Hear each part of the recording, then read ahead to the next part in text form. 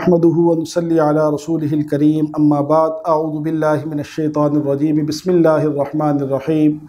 أمن خلق السماوات والأرض وأنزل لكم من السماء ماء فأنبتنا به حدائق ذات بهجة. صدق الله العظيم. محترم ناظرین و سامعین، آج کی نشست میں پارہ نمبر بیس کا خلاصہ و تفسیر آپ کے سامنے پیش کی جائے گی۔ پارہ نمبر بیس، جس میں سورہ نمل کا اختتام ہو رہا ہے، سورہ قصص مکمل اور سورہ انکبوت کا کچھ حصہ آئے گا۔ اللہ رب العزت نے بیسویں پارے کی ابتدا اپنی قدرت پر دلائل اور مشرقین کی تردید اور اسی طرح معبودان باطلہ کے ساتھ اللہ رب العزت نے اپنی ذات کا تقابل کیا ہے۔ اللہ رب العزت نے فرمایا کہ کون ہے جس نے آسمانوں کو پیدا کیا، کون ہے جس نے زمینوں کو بنایا، کون ہے جس نے آسمان سے پانی اتارا، کون ہے جس نے تمہارے لیے باغات بنائے اور جس نے تمہارے لیے کو اگایا۔ الہم اللہ۔ کیا وہ نہیں کہتے کہ اللہ ہی ہیں، بلکہ یہ ایسے لوگ ہیں جو انصاف نہیں کرتے۔ اسی طرح اللہ رب نے بتایا، امن جعل الارض ارارن کون ہے وہ ذات جس نے زمین کو ٹھہرایا تمہارے لیے؟ اس میں نہریں بنائیں۔ اور اس میں تمہارے لیے پہاڑوں کو کھڑا کیا۔ اس طرح اللہ رب العزت نے اپنی قدرت کی نشانیاں بتائیں تو آخر میں اللہ رب نے فرمایا کہ اگر یہ لوگ انصاف کریں تو لازماً یہ کہیں گے کہ ان سب کو بنانے والے اللہ کی ذات ہیں۔ اگر وہ اس کو کہتے ہیں تو وہ اس بات پہ مجبور ہو جائیں گے کہ وہ اللہ کی الہیت کو مان لیں۔ اللہ رب العزت کو وہ اپنا الہ اور معبود مان لیں۔ اس طرح اس پارے کے اندر اللہ رب العزت نبی کریم وسلم کو تسلی دی۔ ان نقلا تسم المعتا ولا تسم السمت دعا کہ اے نبی، جس کی قسمت میں اور جس کی فطر میں ہدایت نہیں ہوگی، آپ اس کو ہدایت نہیں دے سکتے، آپ اس کو سنا نہیں سکتے۔ بلکہ اس کی مثال ایسی ہے کہ جیسے قبر میں پڑا ہوا مردہ ہے، آپ اس کو آوازیں لگاتے جائیں تو اس کے لیے سننا نہ سننا، آپ کے لیے آواز دینا اس کے لیے برابر ہوگا۔ تو ایسے جس کے ذمہ، جس کے پاس ہدایت کا نور نہیں ہوگا تو آپ اس کو سنا نہیں سکتے جب تک وہ اس میں جستجو اور طلب نہ کرے۔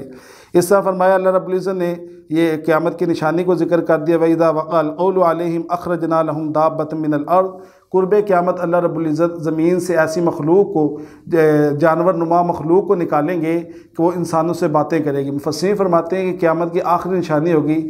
جیسے یہ جانور نکلے گا تو فوری قیامت آ جائے گی۔ اس طرح اللہ رب نے فرمایا کہ یہ دنیا دار العمل ہے۔ من جا اب الحسنتی فلاح خیر منہا۔ جس نے اس میں اچھے اعمال کیے، اس کے لیے آخر میں بھی اچھا بدلہ ہوگا۔ اور جس نے اس میں برے اعمال کیے، اس کے لیے آخر میں بھی برا بدلہ ہوگا۔ آگے ہم دیکھتے ہیں تو اس پارے کے اندر سورہ قصص کو اللہ نے ذکر کیا۔ سورہ قصص اصل میں اس صورت کے اندر موسیٰ علیہ السلام، فرعون کا اور قارون کے قصوں کو ذکر کیا گیا ہے، اس لیے اس کا نام قصص ہے۔ اگر ہم ترتیب کے اعتبار سے دیکھتے ہیں تو اس کا ستائیسواں نمبر ہے، نزول کے اعتبار سے اس کا انچاسواں نمبر ہے۔ اس کی ابتدا حروف مقطعات سے ہو رہی ہے، مکی صورت ہے۔ مکی صورتوں میں آپ کو توحید، رسالت اور قیامت کا ذکر ملتا ہے۔ اس کی ابتدا اللہ رب الفرمائی نتلو علی کے من نبا موسیٰ۔ اللہ رب العزت نے اس اس صورت کے اندر موسیٰ علیہ السلام کا قصہ بڑی تفصیل کے ساتھ ذکر کیا ابتدا سے لے کے کہ جب وہ پیدا ہوئے تو اللہ رب العزت نے وحینہ الا ام موسیٰ ان عرض ہی کہ اللہ رب نے بتایا کہ موسیٰ علیہ السلام کی والدہ کو کہ جب تک آپ خطرہ محسوس نہ کریں، ان کو دودھ پلاتی رہیں، جب خطرہ محسوس کریں، ان کو صندوق میں رکھ کے سمندر میں بہا دیں، وہ بہایا، پھر وہ فرعون کے محل کے پاس گیا، وہاں سے آسیہ نے لیا جو فرعون کی بیوی تھی، اس نے کہا عصاً فعانہ یا تو ہم اس کو اپنا ملازم بنا لیں گے، او نت تقیدہ والدہ یا ہم اس کو اپنا بیٹا بنا لیں گے۔ تو اسی طرح جب والدہ کو سکون نہ ہوا، تو اپنی بیٹی سے کہا، موسیٰ علیہ السلام کی بہن سے، جن کا نام مریم بن عمران تھا، کہ جاؤ پیچھے دیکھو جب وہ پیچھے گئیں۔ وقالت لختی ہی کسی تو ان کی بہن پیچھے پیچھے جا رہی ہیں۔ وحرمنا علیہ المراض عامن قبل، اللہ رب العزت نے موسیٰ علیہ السلام پہ دیگر عورتوں کا اپنی ماں کے علاوہ دودھ کو حرام کر دی یعنی نہیں پینے دیا۔ لیکن اللہ رب العزت نے جب ان کو واپس، ان کی بہن نے آ کے کہا کہ میں ایسی عورت کی رہنمائی کرتی ہوں، جن جو ان کی پرورش اچھے طریقے سے کریں گی، پھر اللہ رب نے دوبارہ موسیٰ علیہ السلام کو ان کی والدہ تک پہنچایا۔ اس طرح جب موسیٰ علیہ السلام جوانی کو پہنچے، وہ داخل المدینہ تھا، تو ایک دن شہر میں نکلے یعنی مصر میں نکلے، باہر دیکھا ہے کپتی اور ایک اسرائیلی لڑائی کر رہے ہیں۔ اسرائیلی کو اسرائیلی نے موسیٰ علیہ السلام کو مدد کے لیے بلایا۔ موسیٰ علیہ السلام جب مدد کے لیے گئے، تو کپتی کو مکہ مارا، اتنی زور کا مکہ لگا کہ وہیں مر گیا۔ موسیٰ علیہ السلام اب چھپتے پھر رہے ہیں کہ کوئی دیکھ کسی کو پتہ نہ چل جائے فرعون کو پتہ چلے گا تو وہ میرے قتل کا حکم صادر کر دے گا۔ اس طرح چھپتے پھر رہے، اگلے دن جب باہر نکلے، دیکھا وہی اسرائیلی جو ہے وہ دوبارہ کس سے لڑ رہا ہے۔ اسے دیکھتے ہی موسیٰ علیہ السلام کو شور مچا دیا کل تو نے اس کو مارا تھا، مجھے نہ مار دینا۔ جب یہ بات فرعونیوں کے پاس پہنچی تو انہوں نے موسیٰ علیہ السلام کو قتل کرنے کے لیے ایک ٹیم تشکیل دے دی۔ موسیٰ علیہ السلام کو ایک مخبر نے آ کے بتایا کہ آپ کو ایک قتل کرنے کا منصوبہ بنایا جا رہا ہے، تو آپ یہاں سے نکل جائیں۔ موسیٰ علیہ السلام وہاں سے نکلے، مدین کی طرف۔ مدین پہنچ پہنچتے ہیں، وہاں پہ دیکھتے ہیں کہ دو لڑکیاں کھڑی ہیں، وہ اپنی جانوروں کو لے کے، بکریوں کو لے کے سائڈ پہ بیٹھی ہیں، باقی لوگ پانی پلا رہے ہیں۔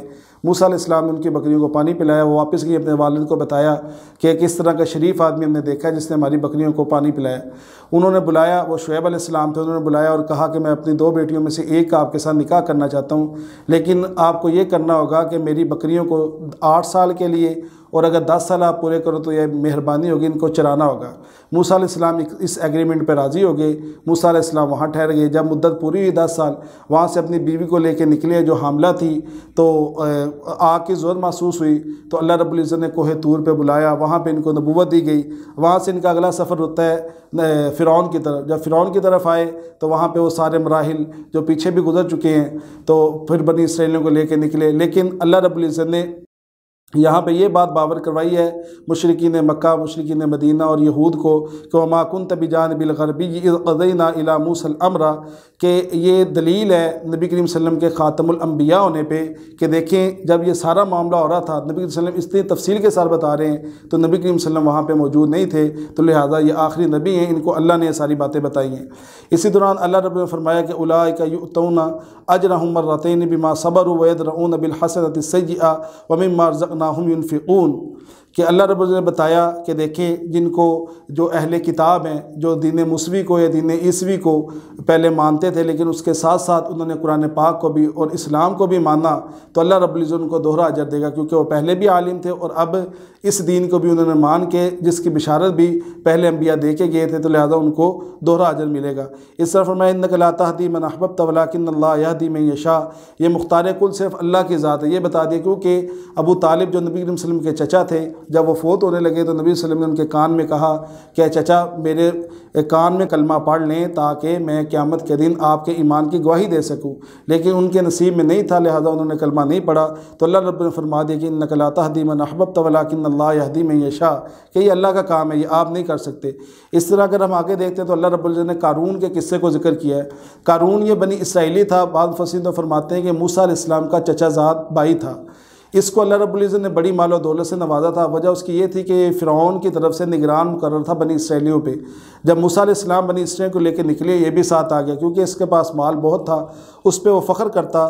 اور موسیٰ علیہ السلام اس کو تبلیغ کرتے کہ جس طرح وہ احسن کما احسن اللہ علیہ کا کہ جس طرح تو بھی لوگوں کے ساتھ اپنے مال کو اور معاشرے میں بلائی کے لیے استعمال کر، جیسے کہ اللہ نے تیرے ساتھ بلائی والا معاملہ کیا ہے۔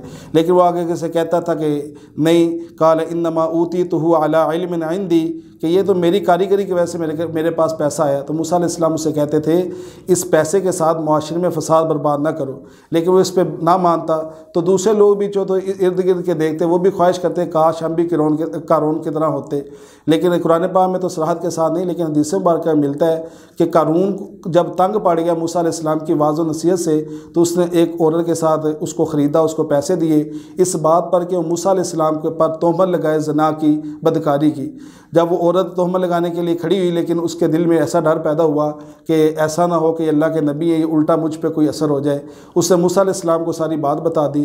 اسی دوران اللہ رب العزت نے قارون کو اس کے خزانے کے ساتھ دنسا دیا زمین میں، تو پھر وہ لوگ کہنے لگے جو اس طرح کی حسرت کرتے تھے کہ لولا امن اللہ علیہ لخصف بھی نہ کہ اگر اللہ ہمارے ساتھ آد بلائی والا معاملہ نہ کرتے تو ہم بھی اس کے ساتھ دنسا دیے جاتے۔